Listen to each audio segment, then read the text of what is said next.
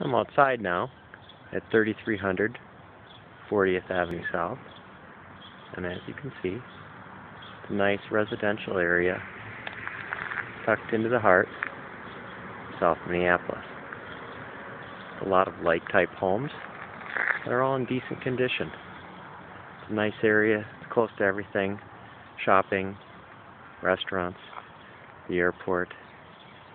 Just easy to get around down here. Kind of a nice little older residential area. Again, if you'd like to see it, give us a call or contact your realtor.